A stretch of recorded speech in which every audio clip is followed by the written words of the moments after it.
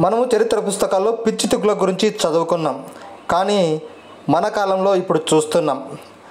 రీసెంట్గా ఆరు రకాల స్కూల్స్ని ఇంప్లిమెంట్ చేస్తూ నిర్ణయం తీసుకున్న ఈ పిచ్చి తుగ్లక్ ఇప్పుడు రోజంతా బడి అంటూ ఉన్నత పాఠశాలలను ఉదయం ఎనిమిది నుంచి సాయంత్రం ఆరు గంటల వరకు నడుపుతున్నారు. పెంచిన మూడు గంటలు సహపాఠ్యాంశాల నిర్వహణ. విద్యా సంవత్సరంలో నూట ఎనభై ఎనిమిది పిన్ని దినాలు.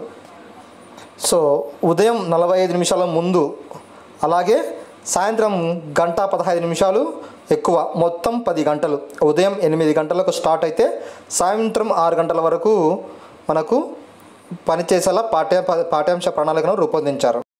నేను ఇలా అనడం వల్ల ఎవరైనా వైఎస్ఆర్ పార్టీ సంబంధించిన వాళ్ళు హర్ట్ అవ్వచ్చు. కానీ ఇక్కడ రియాలిటీస్ మాట్లాడుకుంటే ఉదయం ఎనిమిది గంటలకు ఉన్నత పాఠశాలలు అంటే దాదాపు చుట్టుపక్కల ఉన్న చాలామంది విలేజెస్ నుంచి ఉన్నత పాఠశాలలకు విద్యార్థులు వస్తూ ఉంటారు. వాళ్ళకు బస్ ఫెసిలిటీ కల్పించాలి. వాడు ఉదయం ఎన్ని గంటలకు లేవాలో మళ్ళీ సాయంత్రం ఆరు గంటలకు.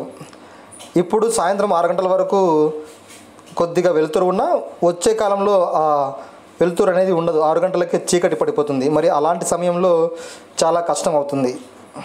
వాటిని ఇంకా తగ్గిస్తే బాగుంటుంది కానీ ఈ విధంగా పెంచడం అనేది సో ఖచ్చితంగా పిచ్చి దుగ్గులకు నిర్ణయాలుగా చెప్పుకోవచ్చు అనేది నా అభిప్రాయం. మీరేమంటారో కామెంట్ చేయండి.